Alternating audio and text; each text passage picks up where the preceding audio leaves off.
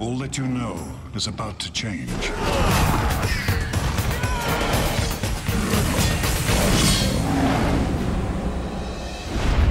Narnia is a changed place from the last film. It's a darker, grittier world. What do you think happens back home if you die here? It's been taken over by a race of humans. The Narnians escaped into the forest. And Prince Caspian, the rightful heir to the throne, has been ousted. I'd summon the Pevensies.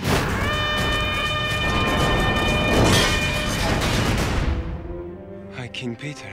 I believe you called. You may find Narnia a more savage place than you remember. The forces of Narnia have united against a common enemy. Together, we have a chance to take back what is ours. It's definitely darker because there's so many treacherous people involved.